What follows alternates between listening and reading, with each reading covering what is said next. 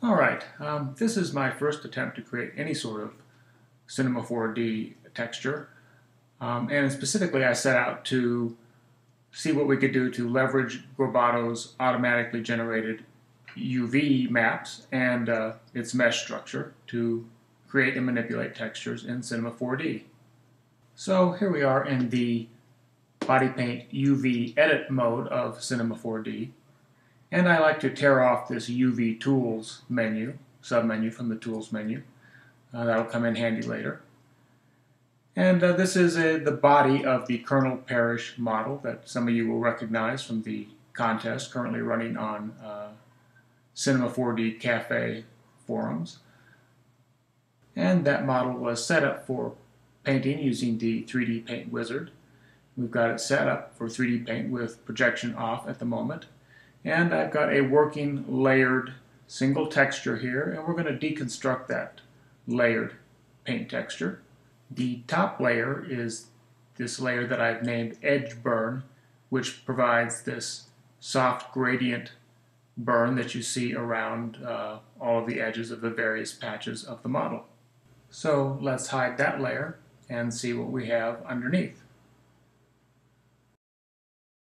Here we have the UV mesh layer, which is something you can, uh, Body Paint will generate for you automatically. Here I've uh, changed, all I've done is change its color to blue so it shows up uh, more clearly against this light background I have. And it's just a reference layer. We use it to help select various portions of the model and you'll see that in action as we go along. There's the item that you use to create this UV mesh layer. Alright, so we'll hide that. This is a simple layer, this edge tint layer. If you watch the model, you'll see that as I turn it on and off, the edges, the uh, seams around these patches that form the model turn lighter and darker. And I took advantage of the fact that those seams tend to be located towards the top of GroBoto's automatically generated UV map. That's not a strict rule. You'll have to do a little bit of um, more careful editing with some models. But here it uh, works pretty uh, thoroughly to select just those edge or loop polygons.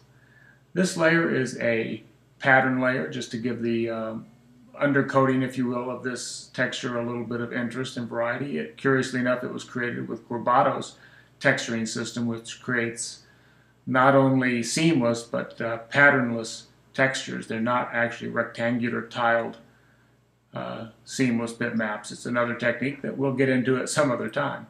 Anyway, I set that to a low opacity, and underneath that I have a background layer which is simply white at this point. Uh, very likely as I move along I will eventually change that color and it will tend to tint everything above it because all of these other layers are either only partly opaque or use some sort of blending mode. Uh, for example, we use multiply with this edge burn layer because that's what I want it to do. I don't want it to obscure the underlying layers. I want it to simply tint them, providing that soft gradient burnt edge. And uh, let's take a look at how that was created. So to do that, I'm going to select Delete from the Edit menu. And in this context, it doesn't actually delete the layer when you use it from the Edit menu there. It deletes the contents of the layer. So you see the layer is still there. It's simply empty now and I'm going to recreate that layer. And to do that, we take advantage again of this UV mesh layer, which is simply the UV polygons that were automatically created by GroBoto. I'm going to use the magic wand tool and I'm going to click anywhere outside of those patches that you see. And uh, small problem here, I need to uh, have this uh, hide selection on. I need to turn that off so we can see the selection. And there it is, but that selection was made by just one click anywhere outside of those polygons. Now there are some inclusions, some holes in these polygon uh, patches, if you will, and we need to catch those as well by using shift click, which adds to our current selection.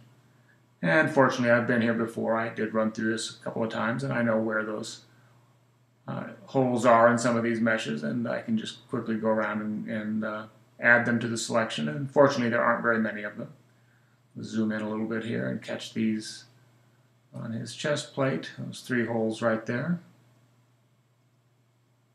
So what we're doing is we're setting up a selection that we will use to uh, create that soft gradient burnt edge. So you can see we now have a selection that surrounds all of these polygon patches.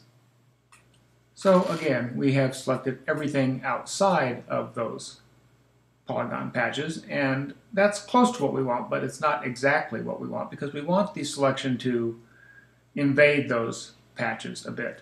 And that's easy enough to do with the uh, grow selection option. I'm going to grow it by a radius of about 6 pixels. And you'll see as it expands, it actually invades those polygonal patches, which is just what we want. So now we're ready to fill that selection. And it doesn't matter that we're going to be filling up this entire bitmap except for those patches with uh, this dark red color that I've selected here. Um, because none of that area, except where it crosses over into the polygonal patches, will actually show up in the texture.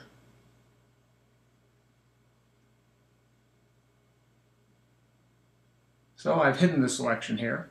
That way we'll be able to see things more clearly. Back to the edge burn layer before we fill, because that's the layer that we want to fill. And just select Fill Layer from the Edit menu. And there you see it, and you can see it in the rendering in the workspace. It's a very crude fill, a very crude selection, because it's a ragged-edged, um, aliased selection. But that doesn't matter, because we're going to be blurring it rather significantly. So in order to do that, we need to deselect everything because now when we blur, we want the blur to be able to go wherever it wants to go. We don't want to confine it to that selection. So I go over here to Filter, Blur, Gaussian Blur, and you can see I played with it before, so it's already set to something fairly high, 30 pixel radius of 30.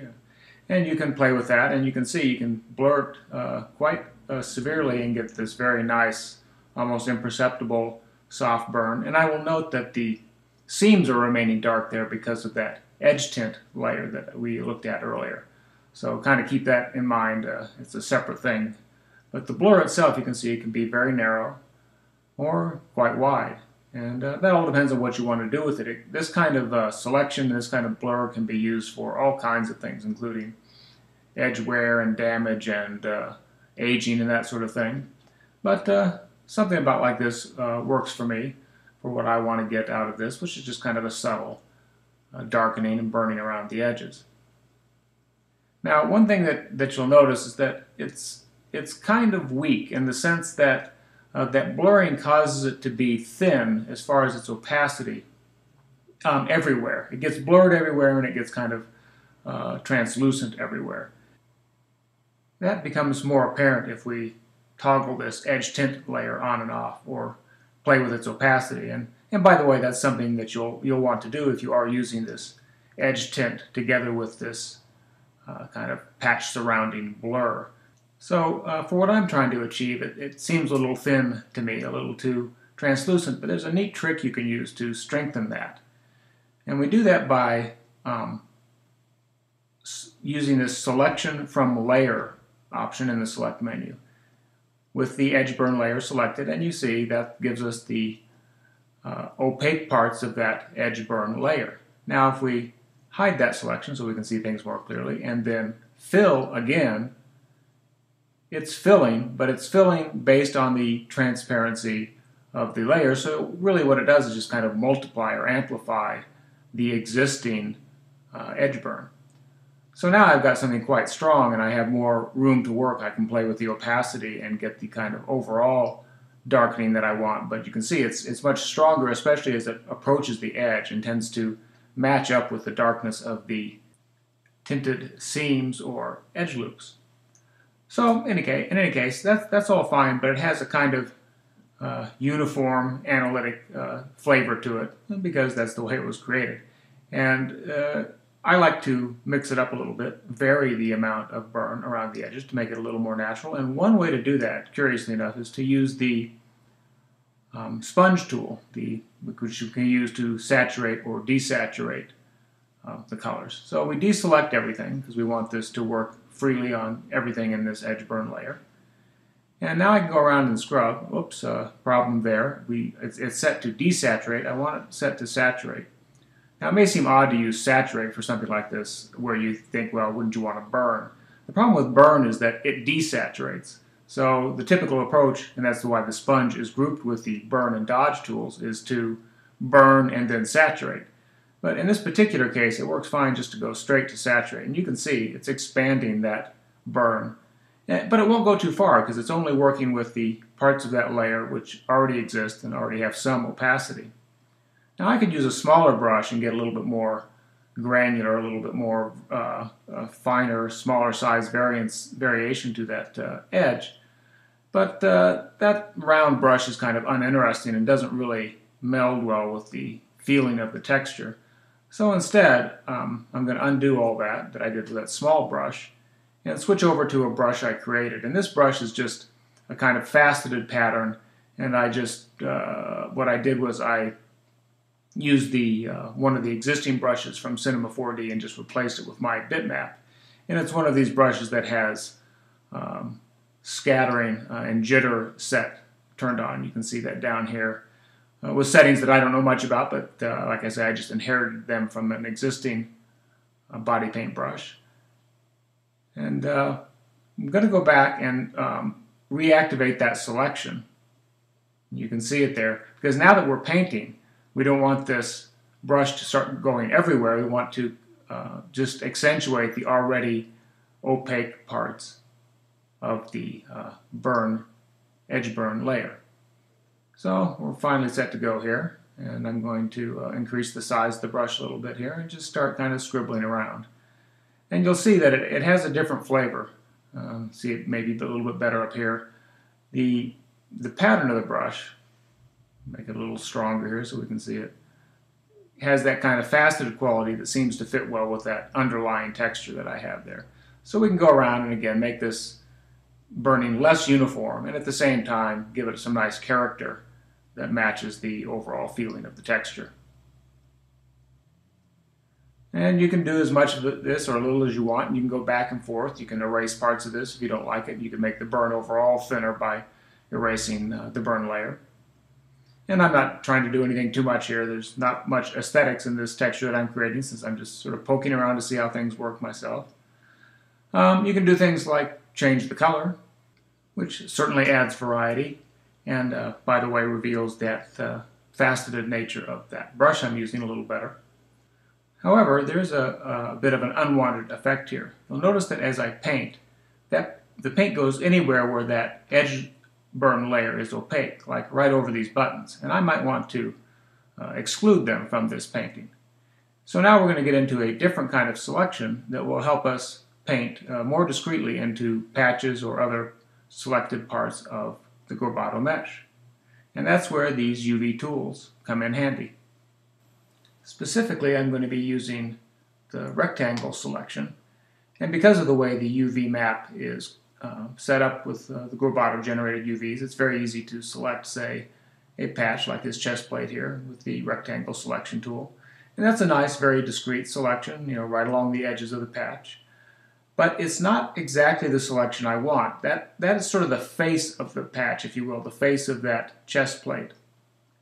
And even though we can use this to create a selection in the bitmap, it's not including parts of it that I would like to include, which are the edge loops, parts of the edge loops that surround this patch. I want it to extend a little bit further. And there's not an easy way to do that with UV-based, bitmap-based selections, uh, polygons or otherwise, because those UV polygons are not contiguous in this UV map. Some of them are up here in the edge loop section of the UV map, but fortunately, we can use geometry-based selection tools because those polygons are contiguous in the geometry. So I'm going to deselect everything here. And um, we're going to look at that selection that we had and see how it's different from the geometric selection. I'm going to go over here to uh, objects and there's a selection set that I defined earlier and there's another video that shows how you can use loops and patches to make good selections of the GroBoto model and I'm not going to uh, get into that here. Instead, we're just going to use, again, a selection set that I created with those geometric polygon selection tools. And I'm going to select those polygons with the Select Polygons button. And you'll notice the difference. The edge loop polygons that are the edge that connects to the faceplate, if you will, of that uh, chest plate are now included.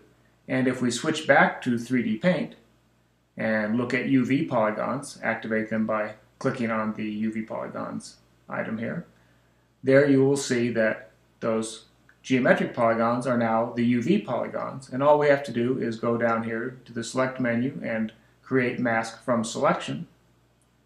And now you have it.